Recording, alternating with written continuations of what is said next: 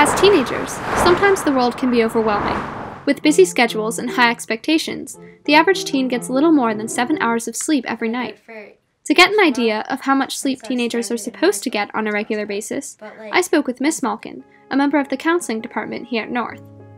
So teenagers should get between eight and a half and nine and a half hours of sleep. The National um, Sleep Foundation is really clear on that.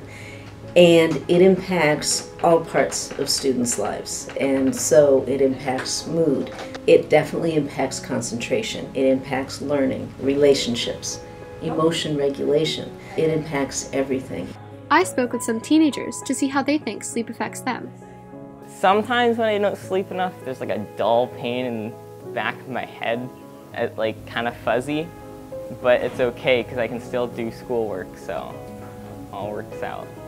I feel like the less sleep you get, the more stressed out you are. So it's just not healthy and you're constantly tired. And you never feel like you're awake.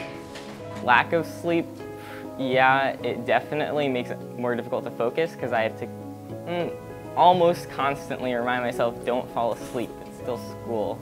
You can wait until it's 2 in the morning. My lack of sleep can make it harder for me to concentrate. Um, and when I do get large amount of sleep, I always feel so refreshed and I feel like I'm ready to start my day. Some researchers talk about students feeling like they're in a haze and they're so used to it they don't even realize until they get enough sleep.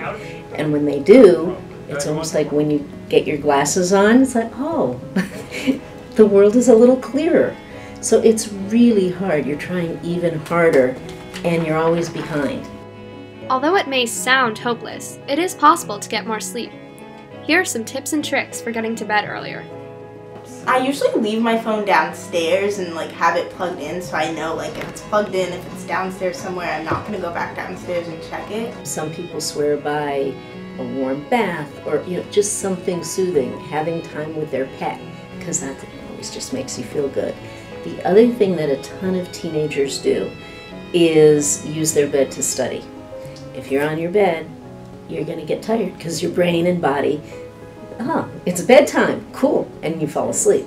If you study at a desk, you study at a table, you don't study on your bed, that also actually helps. Keep the bed for sleeping.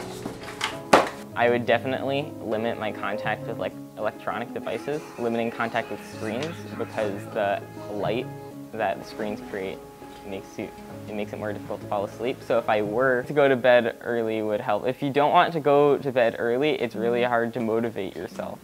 So if you really want to get more sleep, then you're going to have to plan your schedule accordingly. Good luck to all of you on your sleep journey. Reporting for Newton North TV, this is Lilly Hacsi, signing off.